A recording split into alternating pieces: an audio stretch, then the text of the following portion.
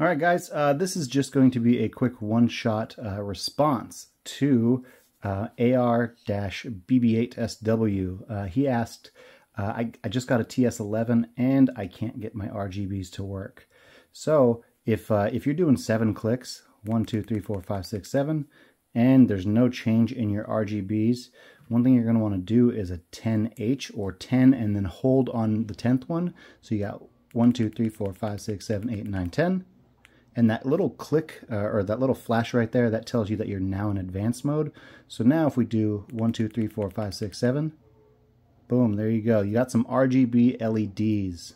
So this is blue. And if you do a 7 hold, 1, 2, 3, 4, 5, 6, 7, now it'll cycle through all the colors and you just let go whenever it gets to the one you want. So if I want, let's go pink. If I want pink, uh, we have pink now. So one, two, three, four, five, six, seven, and hold again. It's going to keep cycling. Now I'm going to stop on blue. Let's go.